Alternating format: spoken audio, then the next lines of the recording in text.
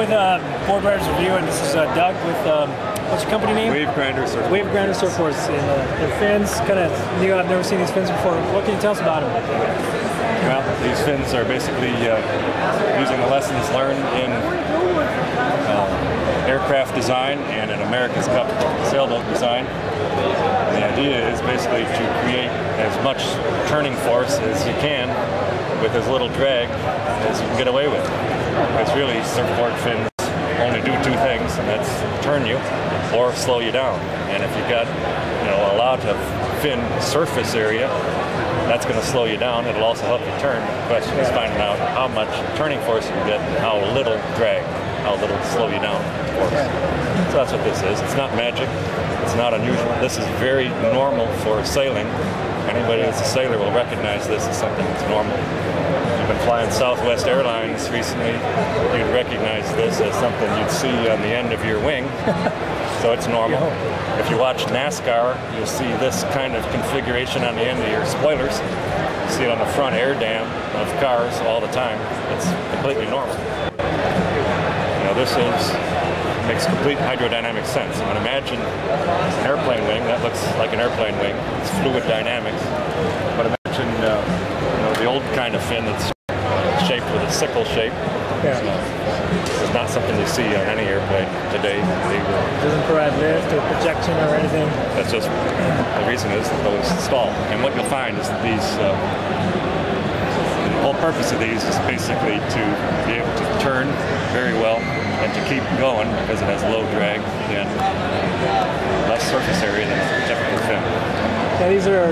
Yeah, how'd you come up with this idea or design? Or you started looking at a lot of different things and seeing similarities, or Well, back in 1982, I sailed quite a bit with Dennis Conner in, uh, Oh, in? America's Cup work. sweet. And so, uh, You guys want some cups, right? Uh, well, they lost the cup in 1983. I had gone college at that point, but uh, so I wasn't part of the loss. Yeah. Still, you were there. But nonetheless, um, that was the year that we lost the cup to Australia, Yeah. who had put winglets on the bottom of their keel. And so uh, one day when the surf was kind of slow and, and I was waiting for a wave, I got to thinking about why it is that uh, we don't have in surfing what we have in sailing.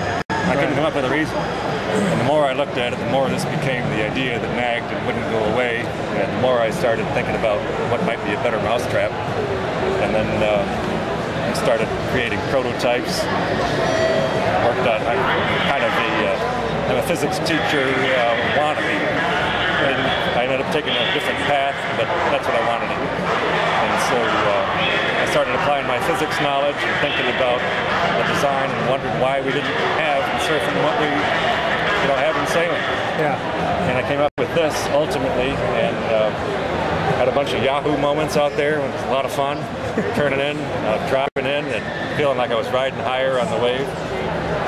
I sent this to some folks, gave it to some friends, and had some friends of friends try it, and I got uniformly people coming back with the same several things that they said about it, and uh, thought, well, this is wonderful. And I often tell people that uh, buy one of these, you got to make sure you put it back two inches uh, in the box because it's an upright fin, and that's there's reasons explained in terms of physics uh, on the website but uh, I haven't put it back two inches, and then I make sure that they test drive it against their favorite fin. Five waves with this fin, five waves with their favorite fin, back to back, until they get an appreciation for the difference. Then I tell them to email me what they think.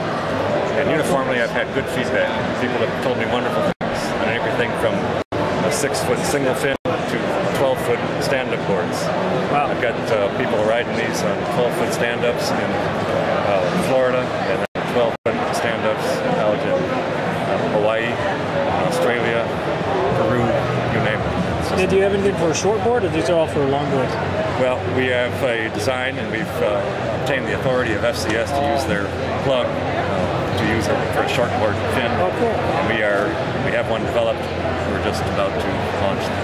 Yeah, you can use it in a uh, two plus one setup or in a single fin. Really, what's at issue is how much turning force you want for how much drag you're willing to accommodate. Yeah. A lot of times uh, people will have uh, several fins. That's an indicator that they like a lot of turning force and are willing to put up with drag as a result. Yeah. So So I mean, if you got your two plus one, you put one of these on, it's probably gonna. In general, this fin, which is nine and a quarter inches, is a good swap for 10 inch, uh, 12 inch, uh, 11 inch fin, whatever in that in that range. Really, it's less of a question of its length, more of a question of the surface area of the fin and the total surface area of your fin system. So this is a 29.42 inch uh, area, and so it depends on how much you have in your fin system. Yeah. And if you look at the top view of, for example, this uh, fin shape right here is the same shape that is on rudders on sailboats. And that's a specific NACA shape. NACA is uh, predecessor to NASA. And this is all from aerodynamic and hydrodynamic testing. Stuff that's and been that's tested and because it keeps its lift, keeps its turning force, in other words, when you turn, without stalling. And what that means when you're surfing is that when you just catching that wave and you make your first turn right or left and doing the drop, a lot of fins will stall and the tails kind of sink. This one, on the other hand, will keep your lift going, and so you end up floating higher on the wave, and that's when you get your yahoo. From what I hear from other folks, but what I've experienced myself, which is why we're here. yeah, yahoo. So it's uh, that's what it's all about. So, Oh, cool. Well, thanks for your info. We look for it on site. Give us your website real quick. uh, wavegrinder.com. Cool. We'd love to go out and try one and maybe give some feedback to you. All right, I ask people to try it before they buy it, and uh, they're welcome to do that at any of these sorts of. Awesome. All right. Thanks, sir. All right, All right. thank you. Good to meet you. Have any cognizable reason for being other than it's kind of what it's always been. Yeah. But it's got a chord length here, a chord length here, and then another long chord length here. Why do you go long, short, long? Because your waves, you know, your water's going by in this method. Why is it long, short, long? I don't know. Yeah, I don't know either.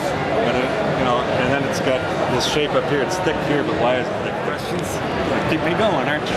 if people have questions, I, what I do is I encourage them to slap on their scanner a uh, uh, their fin and profile, and they send it to me, and then I can measure it with my planimeter and tell me tell them how many square inches their fin has Really? so we can actually talk about reality. Now, you know, I'm not sure that everybody does that. uh, but I do that because I need to be able to relate it to something. Did you say planometer?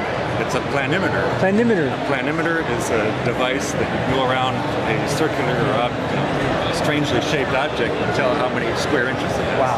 So How cool is that?